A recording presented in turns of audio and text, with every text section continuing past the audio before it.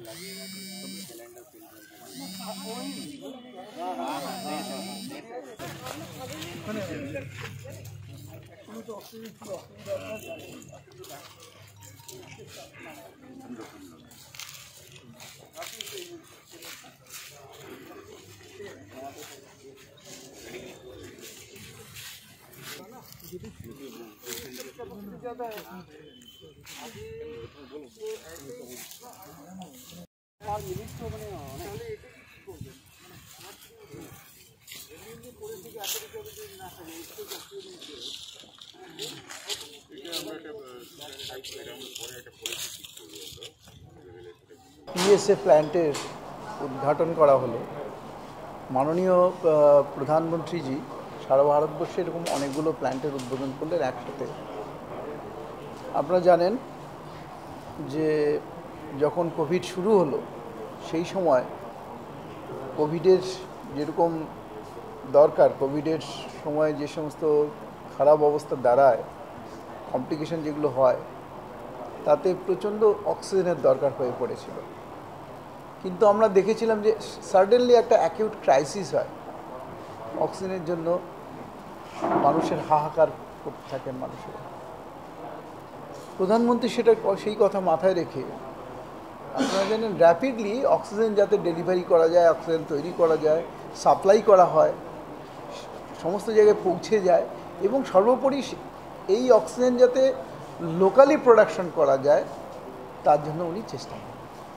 এবং তারই ফলশ্রুতিতে আপনারা দেখেছেন, যে পরিমাণ অক্সিজেনটে অক্সিজেনের যে রিকোয়ারমেন্টটা খুব হাই রিকোয়ারমেন্ট যেটা ছিল, আস্তে আস্তে এত পরিমাণ অক্সিজেন সাপ্লাই হতে শুরু করল যে সেই অভাবটা আর থাকল না, অর্থাৎ মানুষ কিন্তু মৃত্যুর হাত থেকে বাঁচলেন, অনেক মানুষ।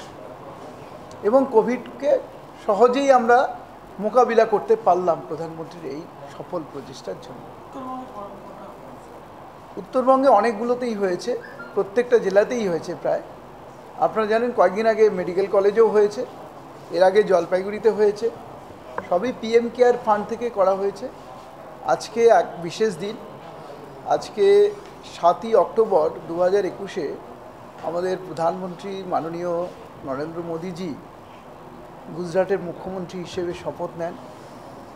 আজকে তার একুশ বছর পূর্ণ কুড়ি বছর পূর্ণ হলো এই দু হাজার একুশে মেনটেন করে